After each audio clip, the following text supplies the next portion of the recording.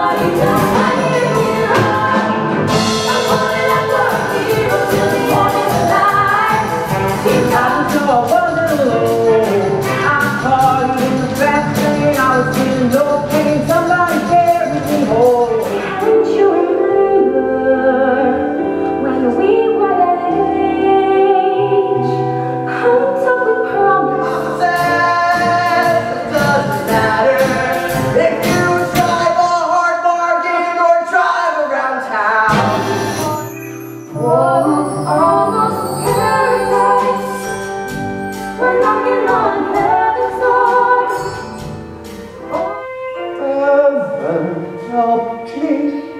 finds my way now.